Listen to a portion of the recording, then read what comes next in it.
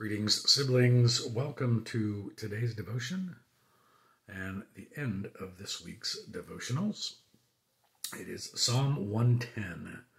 The Lord says to my Lord, Sit at my right hand until I make your enemies your footstool. The Lord sends out from Zion your mighty scepter.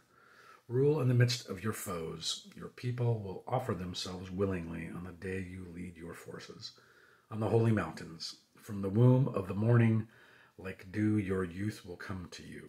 The Lord has sworn and will not change his mind. You are a priest forever, according to the order of Melchizedek. The Lord is at your right hand. He will shatter kings on the day of his wrath. He will execute judgment among the nations, filling them with corpses, and he will shatter heads over the wide earth. He will drink from the stream by the path. Therefore, he will lift up his head. So this is a rather different psalm. Um, at least in my Bible, it's referred to as a royal psalm, which means it is um, a psalm that would have been read or was written uh, in the uh, occurrence of somebody becoming king, being anointed king over the nation of Israel. And it is the establishment by God through human people of this ruler uh, to be a priest and at the same time a king.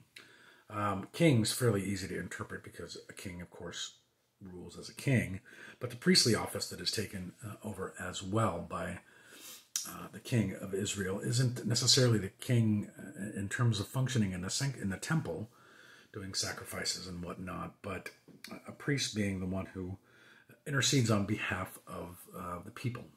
It's a special connection between a priest and God that allows a priest in the temple to do the uh, to intercede on people's behalf, to pray on their behalf, to make sacrifices on their behalf, to enter into the holy of holies and make the atonement sacrifice.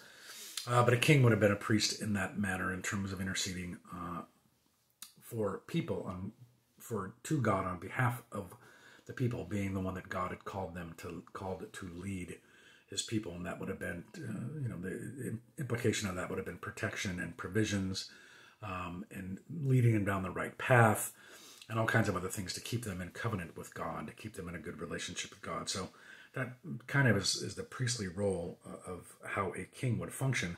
But this is a difficult psalm also to translate from the Hebrew. It doesn't really translate very well, and so it's kind of hard to draw out of that what it is that um, this psalm, how this psalm is sort of relevant to us. But uh, the references in this um, psalm, there are several of them that uh, are relevant at least to the New Testament and to Christ. So uh, the first verse, the Lord said to my Lord, Sit at my right hand until I make your enemies a footstool, was a verse that Jesus quoted in a, a confrontation with the Pharisees about who he was, about his identity.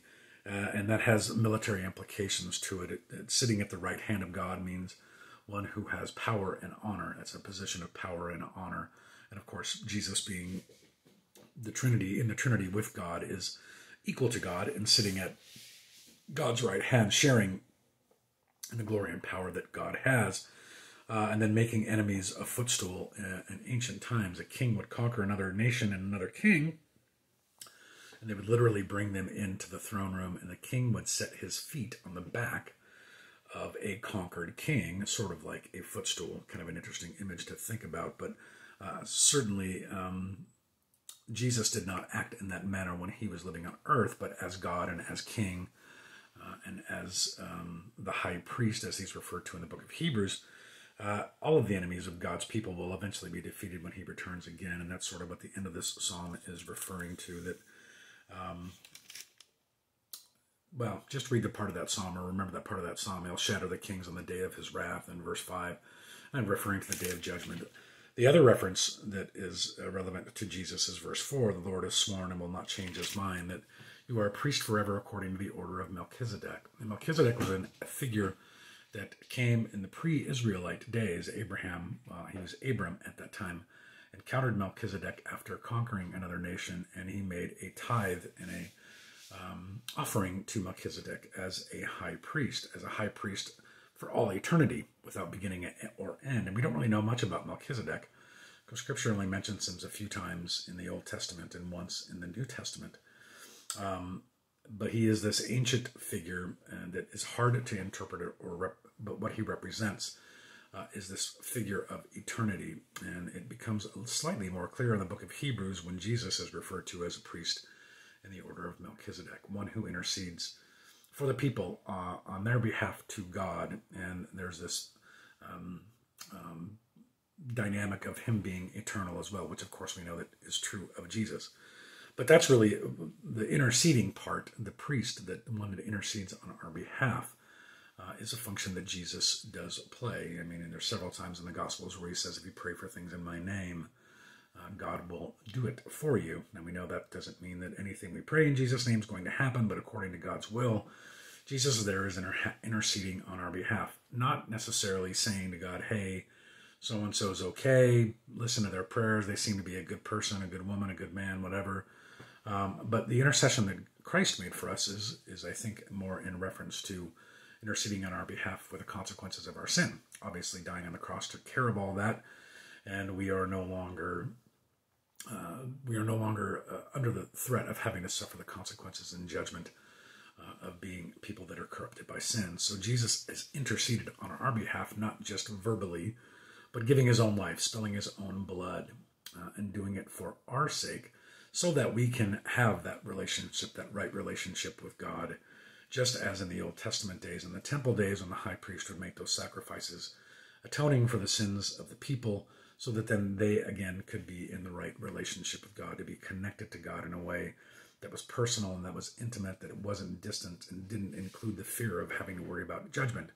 And so clearly Christ has done that for us as well. And that though this in the sin this hymn comes in the midst of a bunch of hymns of praise or psalms of praise, to me at least, and this is just my own opinion, makes a lot of sense because for that very reason, for the, the fact that Jesus has interceded on our behalf against our greatest enemy, and it's will not God will never change his mind because of that, that we can give praise and thanks to him and to God for sending his son for our sake.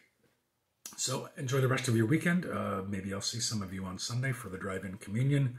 But until then, blessings to you until Monday and Psalm 111.